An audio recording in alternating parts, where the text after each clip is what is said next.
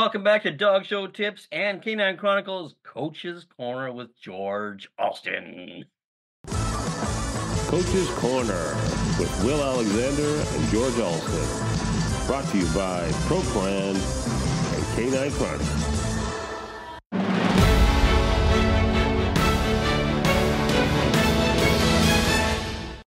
Well, George, how are you today? I am not too bad for an old person.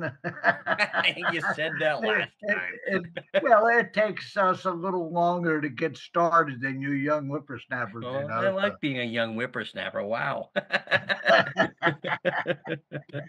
we had we've already started to get some questions coming in. we have. And one question which uh, we hear a lot is this lady has a Weimaraner that paces and she can't get him out of the pace. And then he, some days he paces, some days he doesn't pace. Well, first of all, Weimaraners, uh, the, first of all, the pace is a very, very relaxing gait for a dog, where a trot is more energetic or it takes more uh, Right. energy to do. In my class, I always tell them that it's a lazy way of getting Well, it, right. It's uh, it makes a dog lazy. I mean, a dog is lazy, and Weimaraners, I showed a lot of them are very, very lazy, and and they like to, and they also the breed also likes to mess you up in the ring. They they have a habit of doing that. So, what we want to do is the best way to get a dog to stop pacing is to throw them off balance because the pace is not a well balanced gait like a trot is. right. Uh, a pace is good for straightaway, but a pace is not good for going around corners or or the dog has to go into a trot to become any uh, to be agile. So what you do, um, and we've always I have always taught not to do a courtesy turn, but in this time we're going to call it a, a control turn. And when the judge gets finished examining the dog, and you start to go to gate the dog, instead of just going straight down and back, you do a courtesy turn in front of the judge. When you are three quarters of around the circle, turning your dog, and the dog is sideways to the direction you want to go, you pull the dog in the direction you want to gate. That will trip the dog over the right front foot, throw him off balance, and he will immediately go into a trot guarantee every single time. Now, that's for the individual gate. However, when the judge says, let's take them around the ring together, you can't, you don't want to do a courtesy turn. Right. You're going to be standing. If you do a courtesy turn, then people say, you know, that person is stupid. Get going. And, Get You going. know, that's that's not nice to be called stupid, which I have been called before. So what you do is while you're fixing the lead, whether it's a big dog on the ground or a dog you've just taken off the table, you push the dog so he is sideways to the direction you're going to go in. And this is a very subtle move. Nobody will even see you do this. It'll you can even make it look like the dog is backing off a little bit from your lead or whatever. And then when you start, you pull the, he's sideways, you pull him in the direction you want to go. He trips over that right front leg. Bingo. He's He's out of it. It and it works every single time.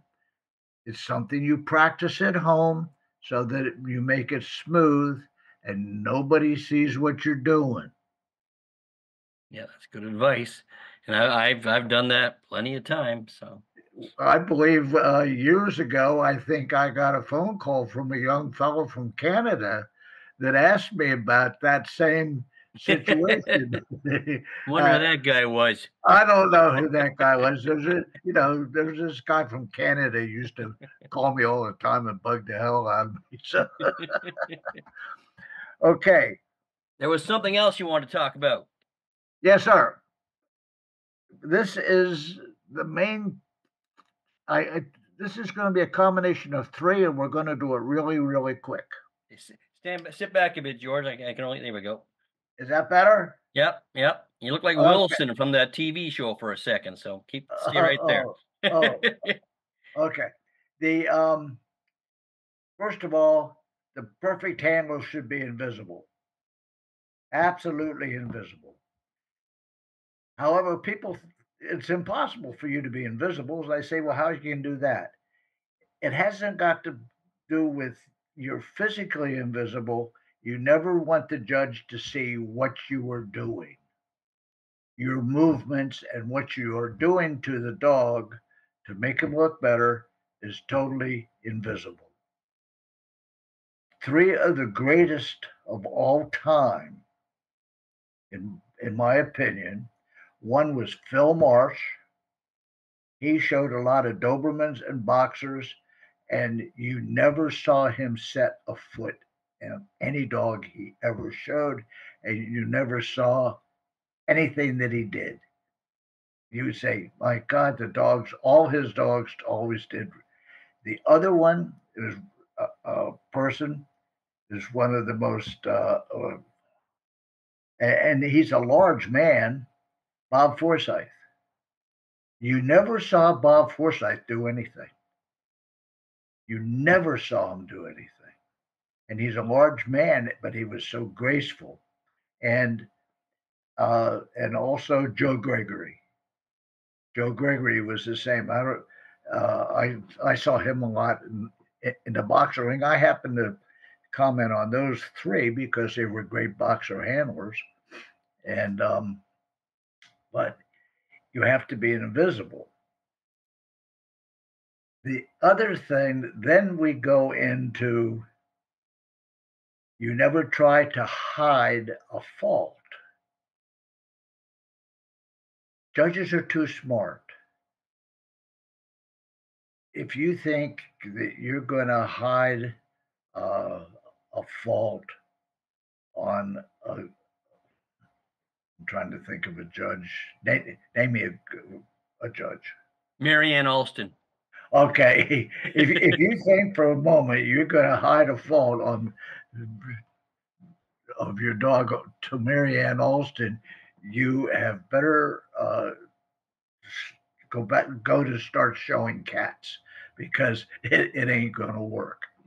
Most the biggest mistake is people go and set their dogs up, and let's say they have a bad hindquarter, and they keep looking at it and going back and fixing it and going back and fixing it. And all this does is bring attention to the dog's hindquarter, which is, is a fault.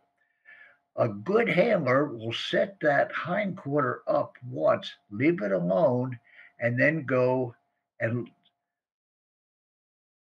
go to another part of the dog and um, there were several there were a lot of times when I would do that and let's say I had a dog with a bad hindquarter, and I would go and I'd sort of work on the front end of the dog and whatever. And the judge would tell me after he put me up, he would say, You know, you're all worried about your dog's front. It looks pretty good. Wouldn't mention anything about the hindquarter that was bad. Exactly. When I, I, I teach that in my class too, and it's probably because of you, but you just draw attention to it. If I'm standing out in the center of the ring and you're continuously setting okay. up your dog's butt end, I'm thinking there's something wrong back there. Okay, now uh, to go back to the dog, uh, the the perfect handler is invisible. There's some. There's a lot of handlers out there today that are always jumping around their dog. They're jumping around, moving here, moving there, moving here. If you were standing, you've probably heard somebody say, hey, look at that handler. He's pretty good. Look at him work. If you are looking at him working, he is not a good handler. He's You should say- to himself. wait, but when you stand there and you say that dog is absolutely beautiful, he's doing it all by himself, don't you believe it? But that's a good handler. Yeah. Uh, now, let's say you are showing you you don't want the judge to see your dog's hind quarter. How do you show off the front, or how do you show off the head? There's a lot of wannabe handlers.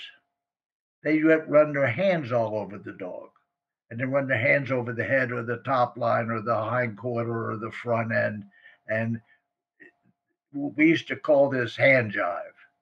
You, you don't want to do hand jive on a dog because all you're doing is saying to the judge, hey, stupid, look at this.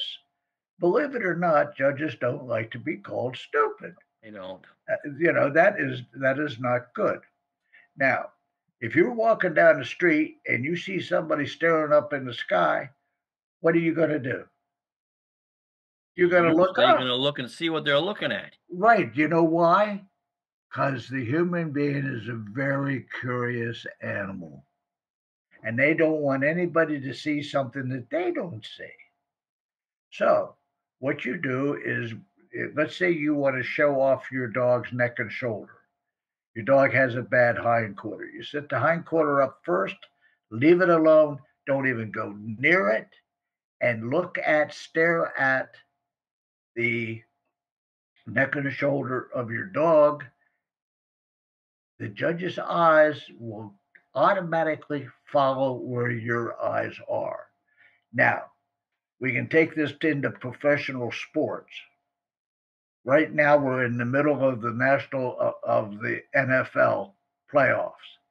How many times have you heard uh, that the defensive back was reading the quarterback's eyes and then made an interception. Same idea. Is use your eyes to show off your dog. It's called subtle presentation. The judge will never know that you were doing it. Nobody will know that you're doing it unless they're, you know, smart. You get the two of Unless us. they're smart. no, but it, you know, the two of us can sit there and we can watch somebody go out there and, and we know what they're doing, you know, but don't go jumping around. I, I mean, I see pictures of people, they got their dogs set up and they look like they're going to try to jump on top of their dogs and whatever. And you, you, they're, they're showing themselves off and, and you, you have to be invisible yeah, you That- need to be invisible. that is my lesson for the day, and uh, I did it in uh, 11 minutes. You did. Excellent, George. Well, it's good to catch up as usual. Hopefully keep those letters coming in everybody. And uh what what what is there something finally you want to say, George? One more thing I'd like to say just remember dogs are folks. There you have it. Here on Coach's Corner, dogs are folks. Well, there ends another fast-paced episode of Coach's Corner with George Alston. If you want to send George any any questions, send it to dogshowtips at gmail.com with the caption Coach's Corner. See you next time.